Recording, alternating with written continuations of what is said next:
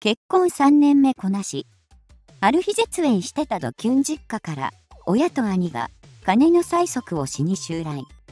なんとか追い返したが、翌日義実家から騒ぎを聞きつけた止めがやってくる。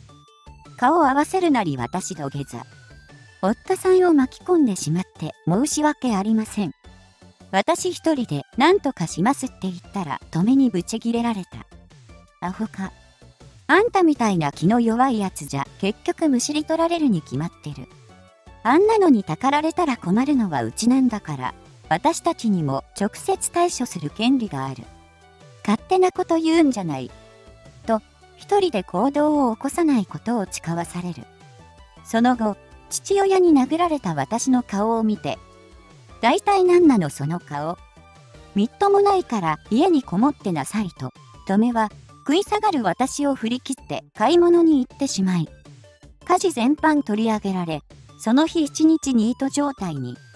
これ以上迷惑かけまいと思ってた私涙目、情けない嫁だ。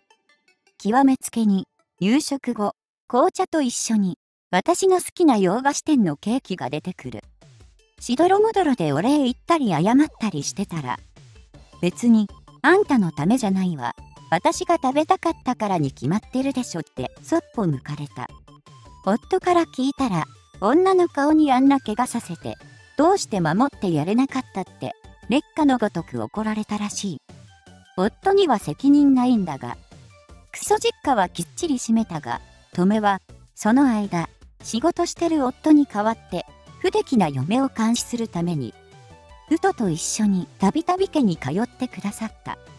そんな鬼姑、本当に頭が上がらない。お母さん、ずっと健康でいてください。大好きです。